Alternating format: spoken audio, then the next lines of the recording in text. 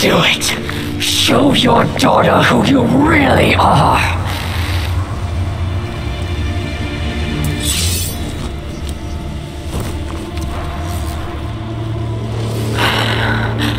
She could have had everything.